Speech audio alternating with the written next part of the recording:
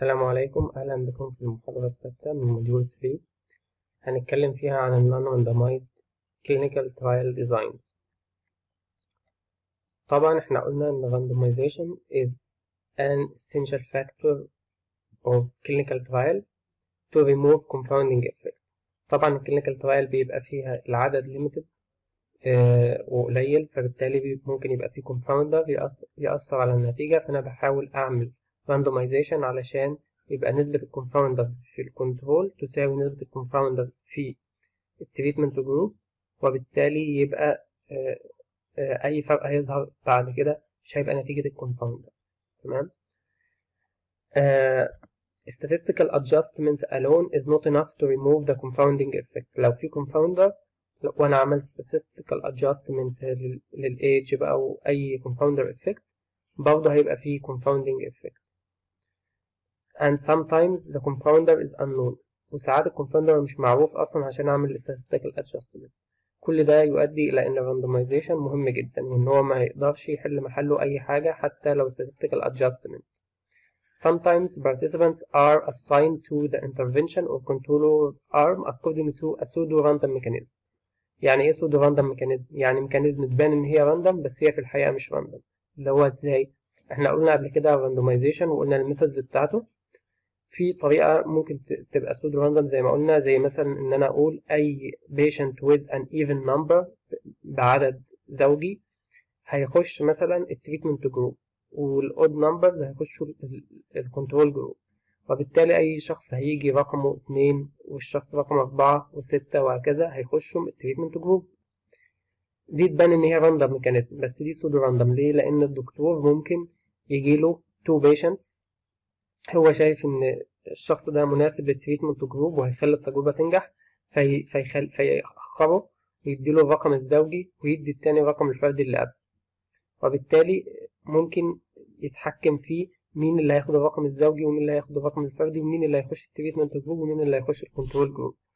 يبقى دي طريقة تبان إن هي random بس هي في الحقيقة pseudo random يعني كاذبة طريقة لا تعبر مش مش مش عشوائية خالص.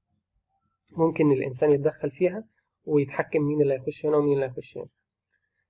آه ساعات ناس بتقول إن non randomized trials are ethical approach. يعني ده ethical approach أحسن من ال randomization إن أنا أختار مين اللي هيخش ال treatment وال control أحسن من ال randomization بحيث أنا عارف مين اللي هيستفيد أكتر وكده.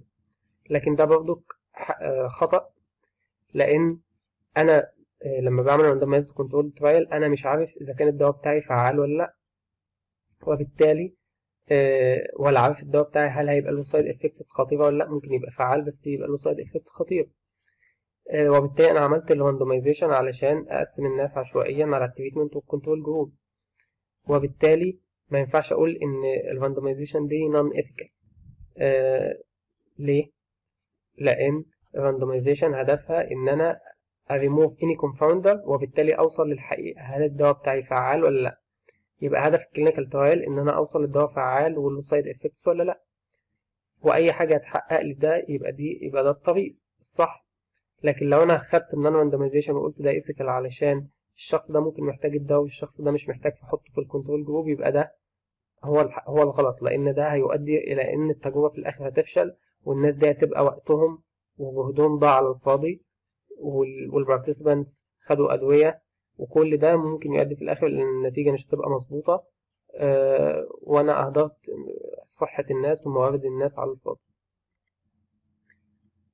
أه أنواع بقى ال non randomized trial قلنا الأول between group اللي هو إن أنا أختار مين اللي هيخش ال treatment ومين اللي هيخش ال control group يبقى ده non randomized between group design. وقلنا إن هو مش حلو. وإن هو بيسيب مساحة لل confounder إن هو يأثر على النتيجة. الاختيار التاني برضك في non randomized هو ال within group design اللي هو إزاي؟ إن أنا أعمل design without a separate control group. يعني أنا بعمل design ومفيش control group كلهم هياخدوا الدواء. إزاي؟ أنا مثلا في في في design اسمه time series design هعمل measurement للناس قبل ما ياخدوا الدواء. يعني مثلا أقيس الضغط بتاعهم قبل ما ياخدوا الدواء بعد كده بديهم الدواء وبعدين بقيس الضغط تاني. طيب accordingly each patient serves as his own control. لأن ال patient ده آه الأول قست الضغط بتاعه بعد كده اديته الدواء وبعد كده قست الضغط التاني الضغط بتاعه تاني. يبقى كده البيشنت his own control تمام؟ قبل الدواء وبعد الدواء. قبل الدواء كان ضغطه كام؟ بعد الدواء كان ضغطه كام؟ يبقى أنا كده مفيش أي confounder effect. ليه؟ لأن كل participant serves as his own control. تمام؟ The observed effect لو أنا لقيت بقى إن في effect للدواء بتاعي فعلا وهو بيقلل الضغط مش لازم ال observed effect ده يبقى حقيقي ممكن ال observed effect ده يبقى learning effect. لو أنا مثلا بعمل تجربة على ال IQ أشوف حاجة معينة هتزود ال IQ ولا لأ. فالشخص لما عمل ال IQ test في الأول قبل ما ياخد ال intervention اتعلم إزاي يحل ال IQ وبالتالي بعد ما خد ال intervention بقى بيحل أحسن وبالتالي النتيجة بقت أحسن. بس النتيجة بقت أحسن لأنه اتعلم إزاي بيحل ال test مش لأنه آه مش لأن ال intervention بتاعي هو اللي خلاه أذكى مثلا أو زود ال IQ بتاعي. أو regression to the mean اللي هم الناس بترجع آه ال effect اللي أنا شفته ده كان effect random يعني إيه الضغط نزل آه عشوائيا. يعني هو الضغط بتاعه بيعلى وبينزل لوحده بصرف النظر عن الدواء. وأنا حطيت الدواء في النص كده آه فلما نزل قلت يبقى هو الدواء هو السبب لكن هو أصلا الشخص كان الضغط بتاعه هينزل من غير الدواء. أو secular trends إن في في أوقات معينة بيزيد فيها أمراض معينة آه زي مثلا الإنفلونزا season بيزيد الإنفلونزا. فأنا لو اديت دواء بقى بعد الإنفلونزا season لقيت الإنفلونزا قلت مش ده معناه إن الدواء فعال ده معناه إن ال season بتاع الإنفلونزا انتهى وبالتالي الإنفلونزا قلت. يبقى إذا مش كل effect أنا بلاحظه هو effect true effect عشان أثبت إن هو true effect وأزود ال power of observation ممكن أعمل حاجة اسمها n of 1 trial اللي هو ه measure ال baseline variable بعد كده هدي ال drug بعد كده ه measure the variable again أشوف هل في تأثير حصل ولا لأ. وبعد كده ه stop the drug وه measure the variable again اشوفه رجع لل baseline ولا لأ. ده دليل على إن إن الدواء هو اللي كان السبب في إن الضغط مثلا يقل. وبالتالي لما أنا وقفت الدواء المفروض الضغط يرجع تاني لطبيعته اللي هو يبقى عالي يعني. بعد كده هدي ال drug again وا measure ال variable again فلاقي إن الدواء بي بيأثر. يبقى أنا بدي الدواء وأوقف وبدي وأوقف وفي كل مرة بلاقي إن الضغط بيقل بعد الدواء ولما أوقف الدواء الضغط يرجع تاني. يبقى أنا كده متأكد بنسبة كبيرة جدا إن ال drug هو السبب في ال observation اللي أنا شايفها دي. تالت حاجة في ال non-randomized هي ال cross over ال cross over دي كل الناس بتاخد ال intervention بس إزاي؟ half of the participants are assigned to the intervention arm and the other half is assigned to the control arm. بعد كده بنعمل switching اللي هو هنقسم الناس. group A هتبقى في ال inter في, في ال intervention وال control هيبقى group B. تمام؟ ده في أول التجربة. بعد كده هنخلي group B تاخد ال intervention و group A تبقى هي ال control تمام؟ يبقى أنا كده عكست عملت switch. This approach allows within group and and, and in between group comparison. اللي هو within group إزاي؟ اللي هو في, في أول تجربة هقارن ما بين group A اللي هم خدوا ال intervention و group B اللي هم خدوا ال control دي تجربة تنفع. دي دي زي شبه كده ال control trials إن أنا بقارن ما بين مجموعة ومجموعة. مجموعة بتاخد الدواء ومجموعة بتاخد ال control أو البلاسيب في مقارنة تانية ممكن أعملها ما بين ال group B وال group A اللي هو ال late intervention وال control تمام؟ في مقارنة تالتة ممكن أعملها اللي هو group A وهي بتاخد ال intervention early intervention وهي control في النهاية. يبقى أنا هقارن دلوقتي group A ب group A. group A لما كانت واخدة ال intervention و group A لما كانت بقت control يبقى كده أنا مفيش أي confounder لأن هما نفس الناس متغيروش ونفس الكلام بالنسبة ل group B وهم الأول كانوا control وبعد كده بقوا intervention فأقارن ما بينهم وما بين بعضهم.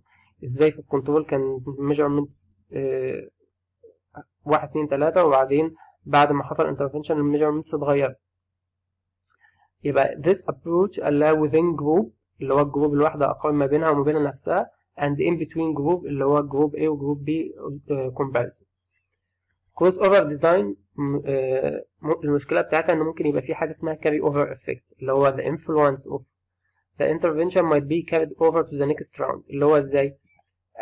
أنا اديت intervention في الأول اللي هو دواء مثلا يقلل الضغط آه، ل group A واديت ل group B البلاسيبو بعد كده هعمل switch هدي group B الدواء و group A كانت واخدة دواء الضغط في الأول. فدواء الضغط ده لسه عامل تأثير عليهم وما انتهاش التأثير بتاعه. وبالتالي هم مش control group بالمعنى الحقيقي. تمام؟ يبقى إذا ال carry over effect اللي هم carried the influence of the intervention to the next round of experiment leading to bias. Investigator can use wash out periods to remove this effect and allow the return to baseline measurements. اللي هو ممكن أعمل حاجة اسمها wash out اللي هو آه، first round اللي هو ال early intervention وال control بعد كده هعمل wash out هدي هدي period معينة مش هدي فيها أي intervention يعني هدي لهم مثلا 3 شهور من غير أي intervention هوقف التجربة مثلا 3 شهور وبعدين أبدأ التجربة تاني أعمل switch الوقت اللي أنا وقفته ده هيسمح إن الدواء يخرج من الجسم خالص وما يبقاش له أي effect. طبعا ال design ده is possible when the effect of the drug is transient and reversible. يعني مثلا لو هو الضغط الضغط ده مش بيتعالج وبالتالي الدواء بيقلل الضغط وبعد كده الضغط ممكن يرجع آه، عالي تاني لو أنا وقفته. لكن لو مرض مثلا بيتعالج نهائيا آه، ما أقدرش أعمل التجربة دي. ليه؟ لأن هدي, ل group A الدواء. هيتعالجوا نهائيا من المرض.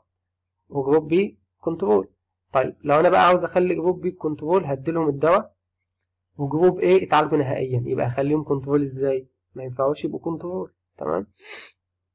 يبقى اذا لازم ال effect of the drug يبقى transient reversible يعني الدواء مش بيعالج المرض لكن بيقلل أعراضه مثلا أو المرض ما بيتعالجش أصلا.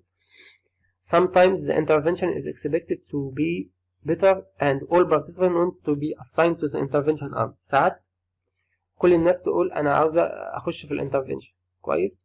آه, آه. يعني تمام. لأن ال intervention arm مثلا less invasive أو معتقدين إن هو فعال أكتر وهكذا. ساعتها هعمل cross over design بطريقة مختلفة اللي هو إزاي؟